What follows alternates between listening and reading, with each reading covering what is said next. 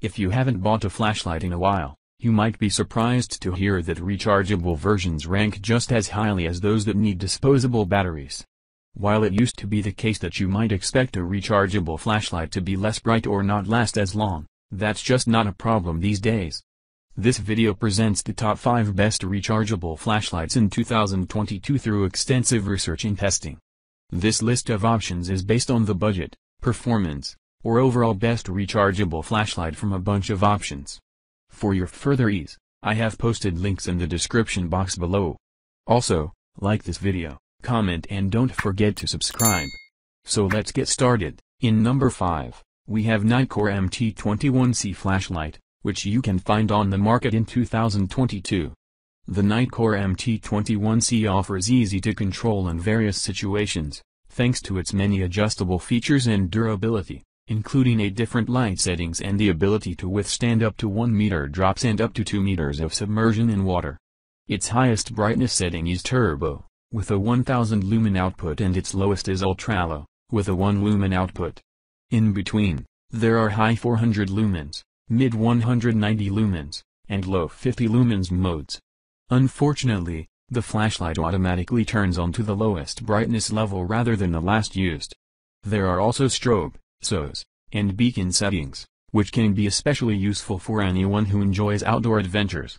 One of the main highlights of the MT21C flashlight is the magnetic tail that allows you to stick the flashlight to metal surfaces and have hands-free use of the light. Moving on to number 4 we have Anker Rechargeable Bolder LC90, which you can find on the market in 2022. You'll be covered in a storm with the Anker's slip-proof frame and a tolerance for drenching rainstorms. This flashlight provides serious brightness when needed, thanks to a 900 lumen LED bulb that can reach almost 1000 feet. The battery charges up via a wall plug or USB. The beam can be zoomed from a wide beam to a narrow one, and it has five light settings, high, medium, low, a strobe function, and NSOS. While a bit heavier than some of the others on this list, the Anker gets solid performance. Those who contacted the company with an issue often mention the excellent customer service, which is something you don't hear often these days. On number 3, we have the Stanley FatMax rechargeable flashlight, which you can find on the market in 2022. Sometimes you want a big light in case of emergency, for a night work project or to light up a whole room when the power's out. True to its name, this flashlight is on the bulky side, at 11 inches, plus handle, and weighing in at 2 pounds. But with that bulk comes options, like a pivoting stand that means it can be set up for hands-free use. The FatMax can be charged with either AC or DC current, so car charging is an option, or you can plug it into the wall, and USB charging is an option too.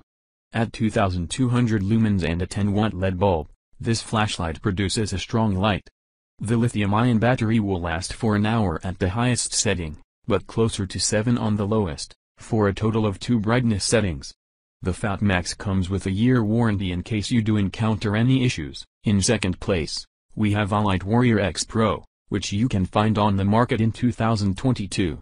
If you want a flashlight that's extra durable and built for rugged and rough handling and doesn't mind if it's a little heavier than other models, you may want to consider a tactical flashlight like the Olight Warrior X Pro.